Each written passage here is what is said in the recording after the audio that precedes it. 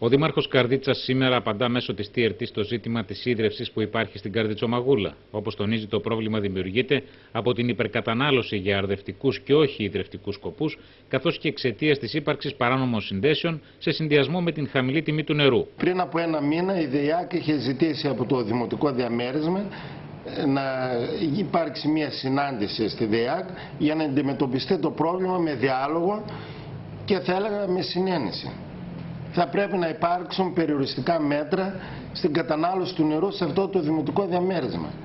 Ε, περαιτέρω παροχή δεν είναι δυνατόν να δοθεί, αλλά και δεν πρέπει να δοθεί. Από την άλλη πλευρά, ο Δήμαρχος αφήνει εχμές για τη μικρόψυχη στάση δημοτικών συμβούλων, αφού παραβλέπουν ότι από τη σημερινή δημοτική αρχή λύθηκαν σοβαρά προβλήματα, όπως αυτό της οσμή του νερού και των συνδέσεων με το νέο δίκτυο.